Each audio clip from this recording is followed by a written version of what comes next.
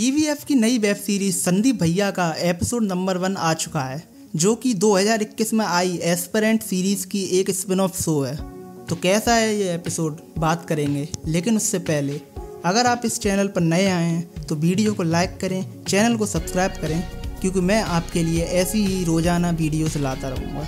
अगर सीरीज़ की समरी की बात की जाए तो हमें इस सीरीज़ में पता चलेगा कि कैसे संदीप भैया ने पीसीएस का एग्ज़ाम क्लियर किया और सिविल सर्वेंट बने, जो कि हमें एस्परेंट के एपिसोड फाइव में दिखाया गया था, जब वो अविलास से मिले थे। एपिसोड के पॉजिटिव्स की बात करूँ तो इस पूरे एपिसोड की जो टोन थी और जो एक्टिंग थी, वो काफ़ी बढ़िया थी।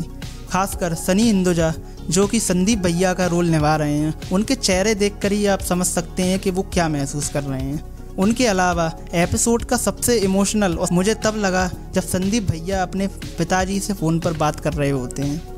उस सीन को देखकर आप इमोशनल हो सकते हैं। एपिसोड के नेगेटिव की बात करूँ तो पूरे एपिसोड में मुझे एक भी ऐसा मोमेंट नहीं लगा जो मैं नेगेटिव्स में रख सकूँ। लेकिन हाँ अगर मुझे फिर भी एक नेगेटिव ढूंढना हो तो मैं यही कहूँगा कि शो के एपिसोड की जो लेंथ थी, पैंतीस मिनट, वो बढ़ के पचास मिनट भी हो सकती थी।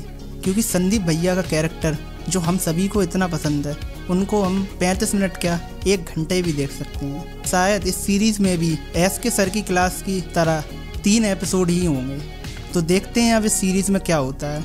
और क्या इस सीरीज़ में भी हमें अभिलाष और संदीप भैया की मुलाकात देखने को मिल सकती है।